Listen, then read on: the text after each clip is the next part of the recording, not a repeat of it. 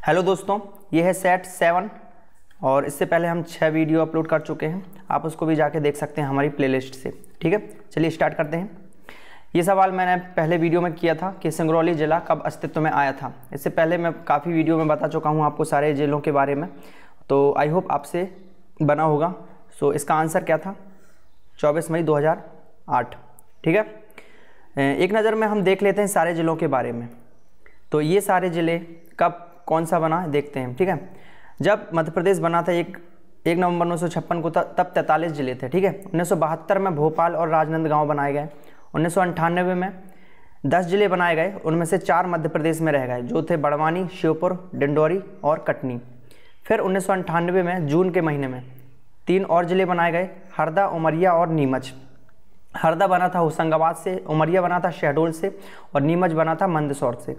उसी प्रकार बुरहानपुर बना 2003 में। 2003 में फिर से तीन बनाए गए, बुरहानपुर, अनूपपुर और अशोकनगर। बुरहानपुर बना था खंडवा से और अनूपपुर बना था शहडोल से और अशोकनगर बना था गुना से। और इसके बाद 2008 में दो और बनाए गए, जिसमें अलीराजपुर है। अलीराजपुर बना था झाबुआ से, ठीक है? और सिंगरौली बना था सीधी ज़िले से। तो इसके बाद 2003 2013 में 15 अगस्त 2013 को इक्यावनवा जिला बनाया गया, आगर मालवा। और लेटेस्ट बना है निवाड़ी, जो 1 अक्टूबर 2018 को बनाया बनाया गया है टीकम ज़िले से, टीकमगढ़ ज़िले से अलग होके। और तो ये सारी चीज़ें आपको याद रखनी है। इसमें से प्रश्न कैसा भी बन सकता है तो ये सारे तथ्य आपको याद रखने हैं। इस वीडियो का पहला प्रश्न है, देवी अहिल्याबाई पुरस्कार कब स्थापित किया गया था? तो ये स्थापित किया गया था उन्नीस में। और सबसे पहले किसको मिला था? तीजन बाई को। पहला पुरस्कार जो अहिल्याबाई पुरस्कार है उन्नीस में, तीजन बाई को मिला था। और लेटेस्ट का मिला है शांति देवी को। ये भी याद रखना है आपको। लेटेस्ट कब मिला था? 2018 में। शांति देवी। इसके अलावा इसमें मिलते हैं दो लाख रुपए। निम्न में से कौन सा घराना जो है ख्याल से संबंधित है? ख्याल क्या है? ख्याल एक भारतीय संगीत का एक रूप है, ठीक है? एक होता है ध्रुपद संगीत। ध्रुपद संगीत होता है शुद्ध रूप से भारतीय ठीक है?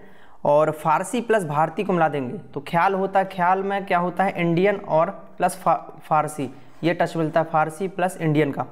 तो ये क्या कहाँ पे है? ग्वालियर घराना। और ग्वालियर घराने का जो जनक था वो था पीर बख्श पीर बख्श ये भी याद रख सकते हैं आप। इनमें से कौन सी नदी अरब सागर में गिरती है? ठीक है? तो सिंध नदी तो अपनी चंबल नदी की सहायक नदी है, चंबल में मिल जाती है। बेतवा नदी यमुना में मिल जाती है, यमुना की सहायक नदी है और ये निकलती है रायसेन ज़िले से। और तापी नदी, इसका आंसर है तापी नदी। तापी नदी निकलती है बैतूल से और अरब सागर में गिर जाती है। और बैनगंगा निकलती है सिवनी डिस्ट्रिक्ट से और फिर महाराष्ट्र में वर्धा नदी में मिल जाती है। तो ये सारे तथ्य याद करना है। भारत में वैसे बहुत कम कम नदियाँ हैं जो पूर्व से पश्चिम की ओर बहती हैं। उनमें से कौन कौन सी है? ताप्ती नदी और नर्मदा नदी, एक और है माही। तो ये तीन नदियाँ हैं जो पूर्व से पश्चिम की ओर बहती हैं और बाकी जो है पश्चिम से पूर्व की ओर बहती हैं। देखते हैं मैप में। जैसे ये देख सकते हैं आप नर्मदा नदी पूर्व से पश्चिम की ओर जा रही है। ये है तापी। तापी जो महाराष्ट्र, गुजरात और फिर अरब सागर में खम्बात की खाड़ी में गिर जाती हैं। ठीक है? और एक माही। ये तीनों हैं जो पूर्व से पश्चिम की ओर बह रही हैं। बाकी आप देख सकते हैं गोदावरी हो या भीमा कृष्णा, कावेरी, ये सारी नदियाँ पश्चिम से पूर्व की ओर जाती हैं। तो ये सारे तथ्य आपको याद रखना ये साथ ही ये गंगा नदी जो बंगाल की खाड़ी में गिर जाती है, ठीक है? इसमें इतना ही याद रखना है आपको। और एक चीज़, सहायक नदी कौन सी है? ताप्ती की सहायक नदी है पूना। और जो एक शहर है, सूरत सूरत, जो ताप्ती के किनारे बसा हुआ है। इनमें से कौन सी पत्रिका है जो माखनलाल चतुर्वेदी द्वारा मतलब निकाली जाती थी, जिसके संपादक थे। तो ये है कर्मवीर कर्मवीर इसके अलावा प्रभा। प्रभा भी आप याद सकते हैं। प्रभा और कर्मवीर दोनों पत्रिका जो है माखनलाल चतुर्वेदी द्वारा निकाली जाती थी। ठीक है? इनको भारतीय आत्मा कहते थे, भारतीय आत्मा। और ये थे एमपी के होशंगाबाद डिस्ट्रिक्ट के। ये भी याद रखना है आपको। इनमें से आयुध वाहन या व्हीकल फैक्ट्री। व्हीकल फैक्ट्री कहाँ पे है? जबलपुर में है। जबलपुर में और क्या है? हाई कोर्ट है आरडीवीवी है, जवाहरलाल नेहरू कृषि विश्वविद्यालय है मेडिकल कॉलेज है, जिसका नाम सुभाष चंद्र बोस के नाम पे रखा गया है, ठीक है? टीएफआरआई है, ये सारे तथ्य याद रखना जबलपुर के बारे में। और देवास में क्या है? नोट छापने का कारखाना, नोट छापने का कारखाना भोपाल तो राजधानी है, इटारसी में जंक्शन है, ये सारे तथ्य। और हिंडोला महल कहाँ पे है? हिंडोला महल है मांडू में, इसके अलावा अशरफी महल है मांडू में, और रानी रूपमती का महल है, जहाज़ महल, ये भी है। और ग्वालियर में है गुजरी महल, ठीक है? ग्वालियर में भी अच्छे महल हैं, जैसे गुजरी महल हो गया, जयविलास महल और ये सारे तथ्य आपको याद रखने। महल पे काफ़ी क्वेश्चन आते हैं। इनमें से यूनानी चिकित्सा किससे कौन संबंधित हैं? तो इनमें से हकीम सैयद जिल्लोर रहमान, ये हैं यूनानी से संबंधित। हमारे एक मंत्रालय भी है, आयुष। आयुष, इसमें ए ए से क्या मतलब है? आयुर्वेदा। योगा, वाई से योगा, यू से यूनानी, एच से सिद्धा और एच से होम्योपैथी। ठीक है? खरबूजा महल मध्य प्रदेश के किस ज़िले में है? खरबूजा महल है धार में। धार में। हवा और नौखंडा महल है चंदेरी में।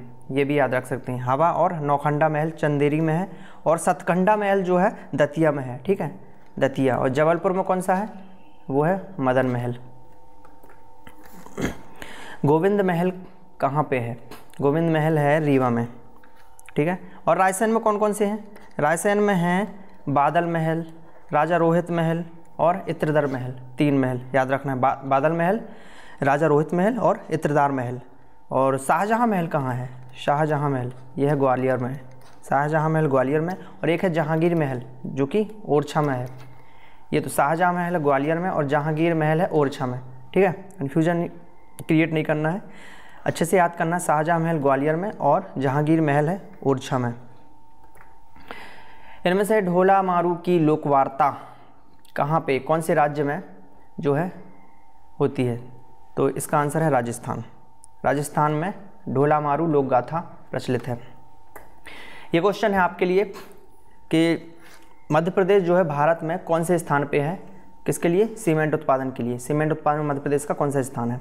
कमेंट बॉक्स में इसका आंसर लिखें। ये वीडियो लेक्चर आपको कैसा लगा आप हमें कमेंट बॉक्स में कमेंट करके बता सकते हैं और ज़्यादा से ज़्यादा इस वीडियो को शेयर कीजिए ताकि हम और ऐसे वीडियो बना सकें।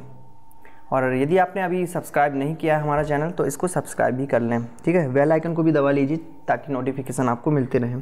Thanks for watching.